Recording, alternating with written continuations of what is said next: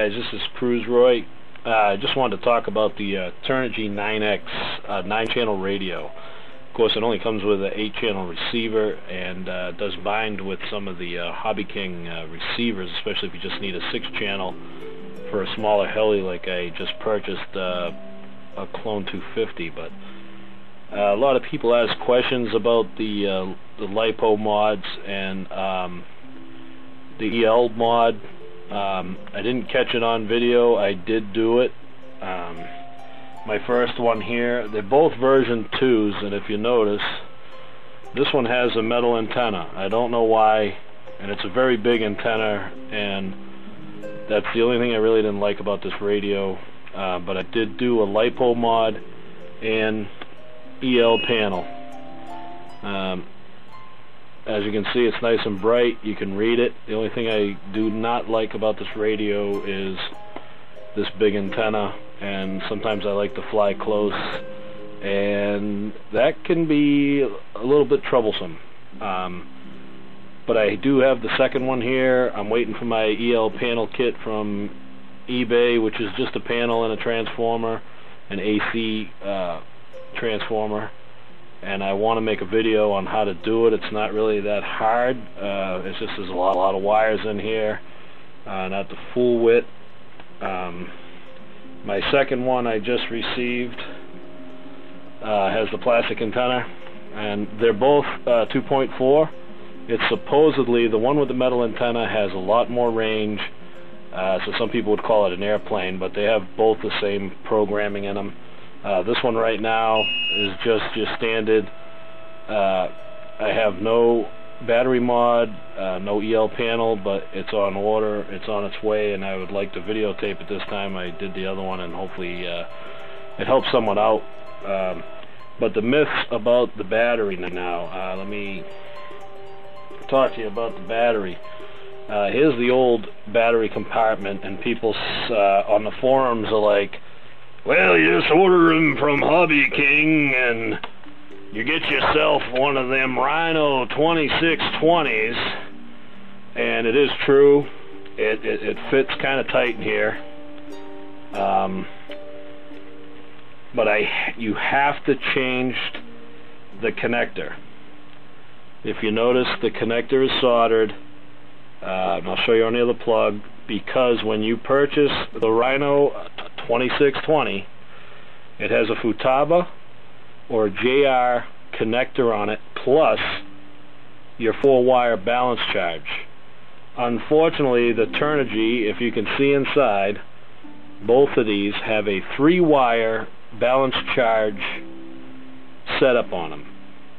Um, so it is a good battery. It does fit snugly in here, but you do have to do some modifications to the battery, uh, which is dangerous. Some people don't like to do it. The LiPo's got a real good kick to it, but I discharged the battery before I did it. Um, and as you can see, there's a lot of there's enough room in here to get everything curly cued. Um, what I do want to mention is uh, I only charged this once, and I've had 50 flights so far with this thing and she's still reading 11 volts. I'll show you in a minute. Like I said, it's if it fits in there, and you just got to get the wires right. Uh, it's just a dangerous solder job, and you should solder it, tie the wires together, make sure your positive and negative are correct. And it, what it is is a, a three-wire balance charge connector, and you can buy a pigtail from many of your hobby stores. Uh, these are both mode 2. I mean, they can be changed to anything else, but um, like I said, this one here has the EL panel. And like I said, I charged the battery. Oh, it lied to me. It's 9.6 right now, but it's 50 flights. Normally, I'd put some double A's in this and probably get three flights and the thing's dead already. Or, you know, maybe five flights or so. So the mod is a very good idea on this, and I'm also running the EL panel now, so uh, so you got 50 flights, you know, at you know anywhere from 10 to 12 minutes apiece, and I'm at 9.5, 9.6 volts right now. So they do last a really long time. I just didn't exceed uh, RC radio with a flat pack and I'm trying to test how long it lasts now because that's a real battery pig. Um, but what I wanted to show you was, here's the original four battery pack, and the thing is, keep this. You can use the end off of this. I mean, you can do that. That's a simple fix. You just, uh, your positive, negative, it's already here. Cut the JR connector off of the uh, the battery and solder this one on. You can do it. I bought a pigtail because I wanted to save this. If you ever sell the radio and you want to keep the LiPo, LiPo uh, you can just put the four batteries in there and boom, you're back to normal. But if you notice, uh, this is a three-cell balance charger connector. So just to give you people all the myths out there that you can just buy a LiPo pack and plug it in, it's not true because I have two here. They're both version 2s. One was just recently purchased and they both have a three-wire balance charger connector. So, I mean, you can. You can take this one. It's already in the right positions. Chop it.